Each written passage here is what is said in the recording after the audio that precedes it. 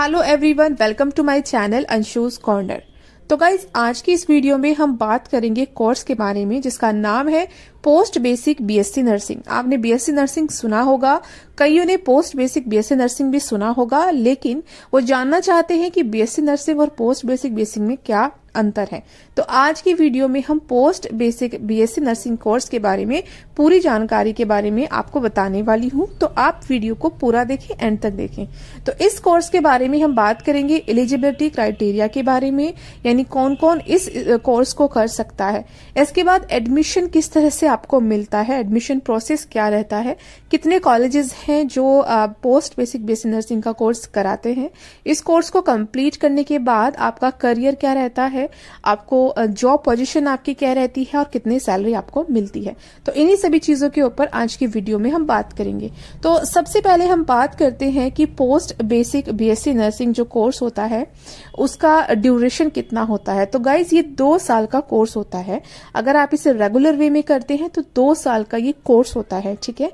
अब बात करते हैं कि इस कोर्स में क्या आपको पढ़ाया जाता है। तो guys post basic BSc nursing जो होती है, वो जो नर्सिंग स्किल्स होती हैं, उनको इनहेंस करना होता है। जो ऑलरेडी नर्सिंग का बैकग्राउंड रखते हैं तो वो पोस्ट बेसिक नर्सिंग इसलिए करते हैं ताकि उनको और ज़्यादा अपॉर्चुनिटी मिले बेटर अपॉर्चुनिटी मिले जॉब के लिए करियर के लिए। तो नर्सिंग स्किल्स को इनहेंस करने के लिए पोस्ट बेसिक बेसिक नर्सिंग का कोर्स कराया जाता है। अब बात करते हैं इस कोर्स की एलिजिबिलिटी क्राइटेरिया तो इस कोर्स को करने के लिए ट्वेल्थ पास होना ज़रूरी होता है। ट्वेल्थ प्लस जीएनएम, ठीक है? जनरल नर्सिंग मिडवाइफरी का आपके पास सर्टिफिकेट होना चाहिए, यानी आप रजिस्टर्ड नर्स होनी चाहिए। तो पोस्ट बेसिक बेसिक नर्सिंग वो करते हैं जो जीएनएम कर चुके होते हैं और जो चाहते हैं कि वो नर्सिंग में हायर स्टडी करें और अपनी जो नर्सिंग स्किल्स को हो, वो इन्हेंस करें ताकि उन्हें बेटर जॉब अपॉर्चुनिटी मिले। तो जीएनएम अगर आप कर चुके हैं तो आप पोस्ट बेसिक बेसिक नर्सिंग का कोर्स कर सकते हैं। अब बात करते हैं इसमें एडमिशन किस तरह से आपको मिलता है तो एडमिशन इसमें आपको एंट्रेंस एग्ज़ाम के बेसिस पर भी मिलता है और मेरिट बेसिस पर भी मिलता है। कुछ स्टेट लेवल के और कुछ कॉलेज लेवल के या नेशनल लेवल के एग्ज़ाम्स होते हैं, जो पोस्ट बेसिक बेसिक नर्सिंग में एडमिशन के लिए लिए जाते हैं। मोस्टली ये स्टेट लेवल के एग्ज़ाम होते हैं मतलब हर एक स्टेट में कुछ यूनिवर्सिटी कॉलेज होते हैं, जो पोस्ट बेसिक बेसिक नर्सिंग के लिए एंट्रेंस ऑर्गेनाइज कराते हैं। नेशनल लेवल की बात करें तो एम्स है, ठीक है, ऑल ओवर इंडिया एम्स जो है, वो पोस्ट बेसिक बेसिक नर्सिंग के लिए एंट्रेंस देते हैं। फ़िलहाल इसके फॉर्म निकले हुए हैं, आप चाहे तो फिल कर सकते हैं। उसके अलावा कॉलेज लेवल के भी कुछ एग्ज़ाम होते होंगे एप्टीट्यूड टेस्ट जो पोस्ट बेसिक बीएससी नर्सिंग में एडमिशन लेने से पहले वो टेस्ट आपको क्वालिफाई करना होता है। एंड मेरिट लिस्ट के बेसिस पर भी मतलब जो ट्वेल्थ में आपके मार्क्स रहते हैं या जीएनएम में जो आपके मार्क्स रहते हैं, उसके मेरिट के बेसिस पर भी आपको एडमिशन मिलता है। तो आपको मेरिट बेसिस पर भी एडमिशन मिलता है और कुछ स्टेट लेवल के या कॉलेज लेवल के एग्ज़ाम होते हैं, उनको क्लियर करने के बाद भी आपको एडमिशन मिलता है। कॉलेजेस की बात करें तो जो अच्छे टॉप कॉलेजेस है तो उसमें एम्स आता है, उसमें पीजीआईएमई आता है जो कि चंडीगढ़ में है, आरयूएचएस, राजस्थान, सीएमसी यानी क्रिश्चियन मेडिकल कॉलेज जो कि तमिलनाडु में है, जामिया हमदर्द यूनिवर्सिटी जो कि दिल्ली में है। तो ये सभी college universities post basic BSc nursing course कराते हैं। इग्नू की बात करें यानी Indira Gandhi national open university तो ये डिस्टेंस से पोस्ट बेसिक बीएससी नर्सिंग कराती है। अगर आप डिस्टेंस से करना चाहते हैं तो आप इग्नू के फॉर्म फिल कर सकते हैं। आप अपनी जॉब के साथ साथ स्टडी भी कर सकते हैं, यानी आप जॉब भी कंटिन्यू कर सकते हैं और इग्नू से आप post basic basic nursing distance के थ्रू कर सकते हैं। बट अगर इग्नू से आप पोस्ट बेसिक करते हैं तो इसकी ड्यूरेशन तीन साल की हो जाती है। रेगुलर वे में करते हैं तो दो साल की रहती है, और डिस्टेंस से करते हैं तो तीन साल की इसकी, आपकी ड्यूरेशन इस कोर्स की रहती है। अब बात करते हैं कि अगर आप एंट्रेंस के बेसिस पर एडमिशन लेते हैं तो उस एंट्रेंस एग्ज़ाम में जो क्वेश्चंस आएँगे, वो किस बेसिस पर आएँगे? तो उसमें आपका जो जीएनएम में आपने पढ़ा है, यानी कि जो आपने डिप्लोमा नर्सिंग में पढ़ा है, उसी से रिलेटेड आपकी क्वेश्चन पूछे जाते हैं। जैसे biological science community health nursing fundamental of nursing ठीक है? इसके अलावा midwifery and gynaecologist mental health and psychiatric nursing तो इन सभी से रिलेटेड क्वेश्चंस पूछे जाते हैं, इन टॉपिक से रिलेटेड ही आते हैं। ओवरऑल जो आपने जीएनएम में या आपने नर्सिंग डिप्लोमा में पढ़ा है, उसी से रिलेटेड आते हैं। ठीक है, इसके अलावा आप मेरिट बेसिस पर भी एडमिशन अगर लेते हैं तो डायरेक्ट आपको मेरिट बेसिस पर मिल जाता है, उसमें कोई टेस्ट नहीं होता। और कुछ कॉलेजेस ऐसे भी होंगे कुछ सिटीज़ में, कुछ टाउन में, जहाँ पर डायरेक्ट एडमिशन भी आपको दिया जा सकता है, जो कि नए नए कॉलेजेस खुले रहते हैं तो वहाँ पर बिना किसी एंट्रेंस के भी आपको एडमिशन मिल जाता है। अब बात करते हैं फ़ीस के बारे में कि फ़ीस कितनी रहती है। तो हर एक गवर्नमेंट कॉलेज की फ़ीस बहुत कम रहती है। अगर हम कंपेयर करें प्राइवेट कॉलेज से तो गवर्नमेंट में आपकी जो फ़ीस रहती है वो दस से बीस हज़ार या बीस से चालीस हज़ार के अराउंड ही रहती है।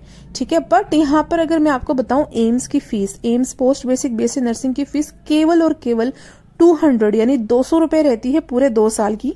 हॉस्टल्स की दो सौ चालीस रहती है। तो आप सोच सकते हैं, एम्स का अगर आप फॉर्म भरते हैं, पोस्ट बेसिक बेसिक नर्सिंग के लिए तो सिर्फ़ आपका दो सौ रुपए में पोस्ट बेसिक बीएससी नर्सिंग हो जाएगा।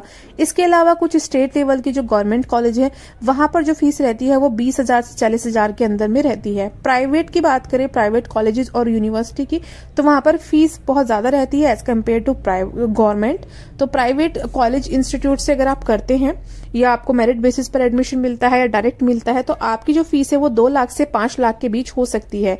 ये फ़ीस वेरी करती है कॉलेज टू कॉलेज कुछ कॉलेज की फ़ीस दो लाख या तीन लाख भी हो सकती है कुछ की तीन और चार लाख भी हो सकती है। तो दो से पाँच लाख तक के अराउंड आपकी प्राइवेट कॉलेज में पोस्ट बेसिक बेसिक नर्सिंग की फ़ीस रहती है। अब बात करते हैं पोस्ट बेसिक बीएससी नर्सिंग करने के बाद आपका job and career so private hospitals government hospitals ठीक है क्लिनिक्स में नर्सिंग होम्स में आप जॉब कर सकते हैं। गवर्नमेंट में बहुत वैकेंसी निकलती है। अधिकतर जो वैकेंसीज निकलती हैं गवर्नमेंट वो स्टाफ नर्स के लिए और नर्सिंग ऑफिसर्स के लिए निकलती हैं और हर एक स्टेट में निकलती रहती हैं बात करें तो। तो, तो एनएचएम में बहुत निकलती है। तो काफ़ी वैकेंसी जो होती है वो BSc nursing post basic BSc nursing और जीएनएम के लिए होती है। तो बहुत अच्छी अपॉर्चुनिटी होती है गवर्नमेंट सेक्टर में जाने के लिए। इस कोर्स को कंप्लीट करने के बाद आप registered nurse staff nurse nursing officers community health nursing and nursing instructor के रूप में काम करते हैं। अगर सैलरी की बात करें तो यहाँ पर जो आपकी सैलरी रहती है अगर आप टॉप कॉलेज से करते हैं गवर्नमेंट कॉलेज से करते हैं फॉर एग्ज़ाम्पल लाइक एम्स से कर रहे हो या फिर सीएमसी uh, से कर रहे हो uh, या जामिया हमदर्द से कर रहे हो और आपका कैंपस प्लेसमेंट ही हो जाता है तो आपका जो सैलरी पैकेज रहता है वो तीन, साढ़े तीन लाख से छह, सात लाख के बीच में आपका रहता है स्टार्टिंग में।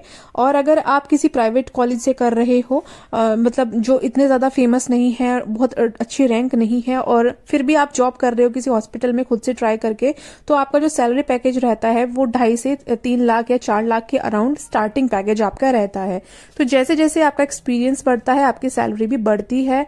Post basic BSc nursing male और फीमेल दोनों स्टूडेंट्स कर सकते हैं। और गाइज़ इस कोर्स को करने के बाद आप हायर स्टडी भी कर सकते हैं। अगर हम स्कोप की बात करें, आप एमएससी नर्सिंग कर सकते हैं पोस्ट बेसिक बेसिक नर्सिंग के बाद। आप एमबीए कर सकते हैं हेल्थ केयर एडमिनिस्ट्रेशन में। आप एमबीए कर सकते हैं हॉस्पिटल मैनेजमेंट में। सो so गाइज़ आपके पास जो ऑप्शन है वो आगे बढ़ जाते हैं अगर आप पोस्ट बेसिक बेसिक नर्सिंग करते हैं। तो अगर आप ट्वेल्थ पास हैं और जीएनएम आपने किया है और आप सोच रहे हैं हायर स्टडी का तो आप definitely post basic basic nursing course कर सकते हैं। अगर आप आप चाहते हैं एमएससी नर्सिंग करना या एमबीए करना हेल्थ हेल्थ केयर एडमिनिस्ट्रेशन या हॉस्पिटल मैनेजमेंट में तो आपको पोस्ट बेसिक बीएससी नर्सिंग करना चाहिए। सो so गाइज़ ये थी आज की information post basic BSc nursing के बारे में। आई होप ये वीडियो आपके लिए हेल्पफुल रही होगी। वीडियो अगर आपको पसंद आई है तो इसे लाइक कर दीजिए, शेयर कर दीजिए। फ़र्स्ट टाइम चैनल पर आए हैं तो सब्सक्राइब कर दीजिए। नर्सिंग से रिलेटेड आपको काफ़ी हेल्पफुल वीडियोज़ इस चैनल पर मिल जाएँगी। तो आप जुड़े रहिएगा इस चैनल से ताकि आपको ऐसी ही हेल्पफुल इन्फॉर्मेटिव वीडियोज़ मिलती रहे। तो जल्दी मिलती हूँ एक नई वीडियो में। Till then bye bye